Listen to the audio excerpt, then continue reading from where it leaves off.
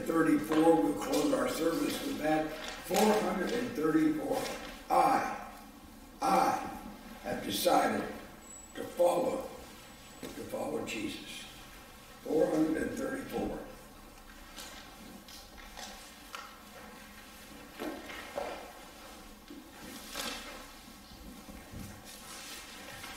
I'm going to read this first passage from the New International Version. And there will be other scriptures in this short message.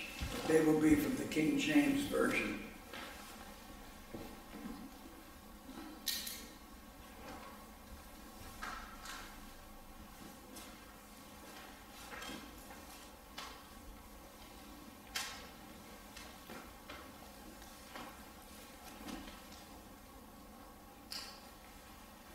Jesus was troubled. John chapter 13.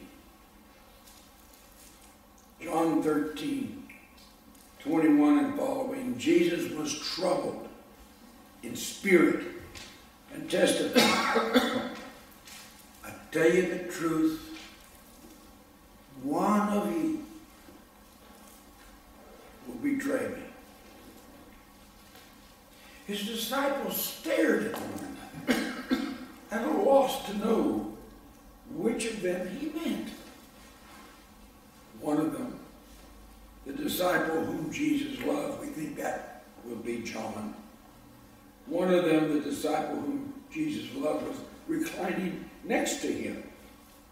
Simon Peter motioned to this disciple, ask him, which one of us he means.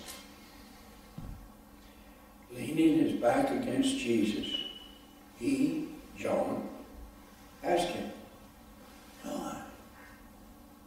who is it?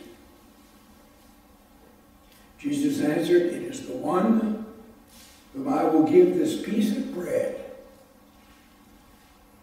that I have dipped into the dish.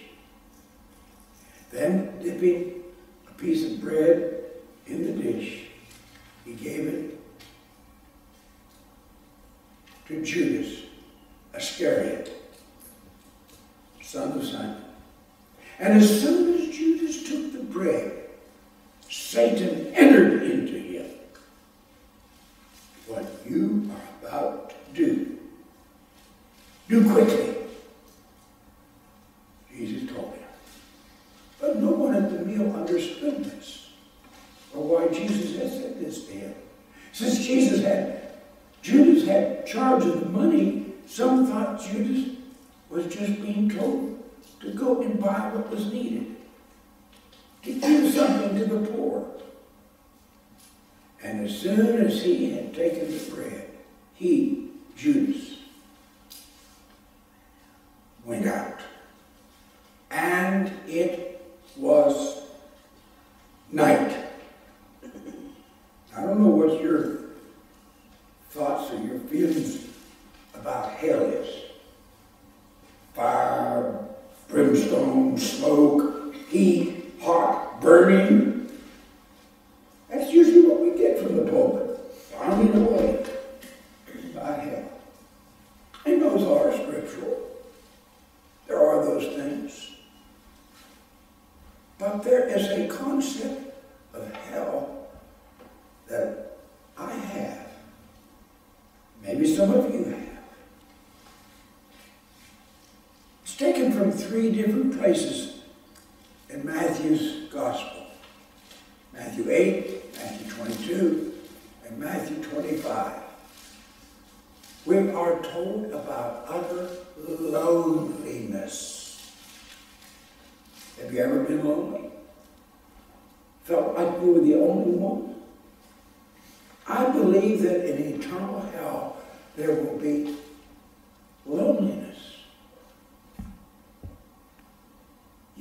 so alone, totally alone. there will be an emptiness. There will be blindness. You cannot see. Eternal dark. I like living where I do. I like that house. I, I know it was here too, but down there it seems like the stars are brighter. The night is darker. But then I remember an eternal hell will be a place of complete, absolute blackness to me. That's my fear of hell. Not so much burning fire, but loneliness, emptiness, and darkness. Jesus calls it the outer darkness in King James Version. He says it over and over again. Judas is going to betray Jesus. It's already in his mind, it's already been done. In essence, he made the deal. And Jesus tells him to go and do it. Jesus knew who he was.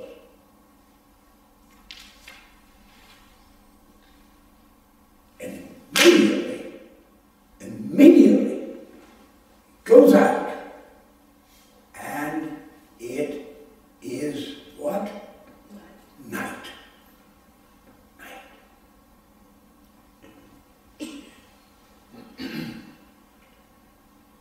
In John chapter 12, we read one of the disciples, Judas Iscariot, Simon's son, which should betray him, had some opinion about what should be done with very precious ointment. An ointment that a woman had poured out upon the head of another person, anointing him. And it was expensive. Peter looks at that and if he knew about anything, he knew about money. He was a treasurer. He was the keeper of the bag.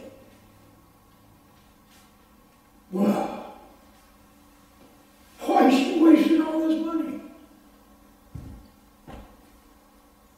Was not this ointment could have been sold for 300 pence and given to the poor? Oh, yeah, he really cared about the poor. This he said not that he cared for the poor, but because he was a thief and had the bag and bear what was put therein, and he would pilfer it, take it, steal it for himself. Nighttime. In John the 13th chapter, the supper is over.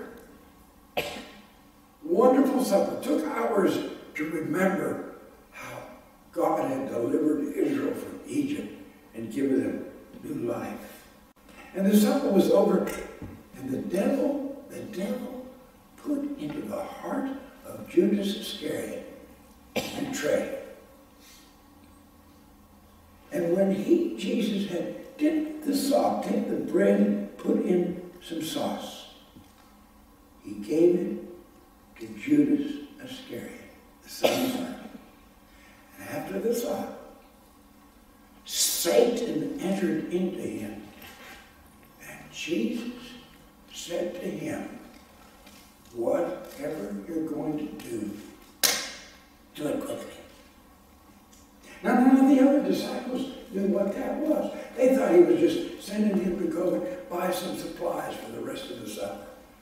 But Jesus knew, Judas knew, and you know that he was going to betray his Lord, who would soon be upon the cross. In Chapter 27, the King James Version says, Judas, which had betrayed him, when he saw that he was condemned, he repented himself. And he brought the 30 pieces of silver to the chief priests and elders, threw it down at them, and said, I have sinned in that I have betrayed innocent blood. They said him, What's that to us? See down to that.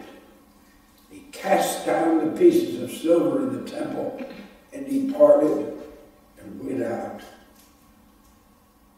and hanged himself. This is not repentance. No, this is not repentance. This is not having a change of heart.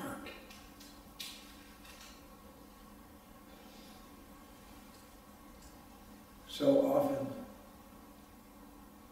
we hurt Jesus. So often we betray him in so many little ways, but they add up.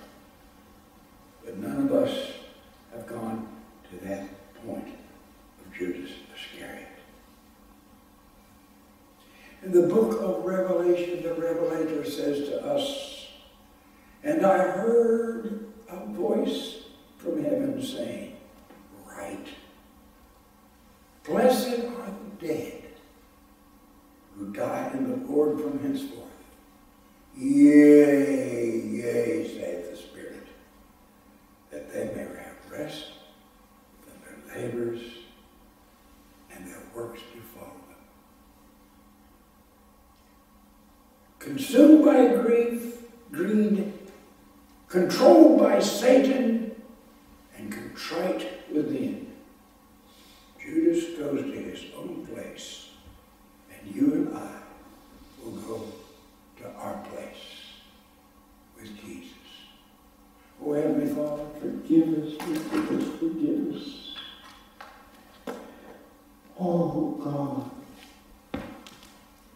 Have we ever let you down, hurt you, or betrayed your son? You never, never betrayed us. And here we are, just as we are, sinners that we are. We give ourselves to you. Give us new life, new hope, new beginning, a new beauty that shall be for each of us. In the name of Christ Jesus, may each of us decide now, immediately, seriously, may we decide to follow Jesus.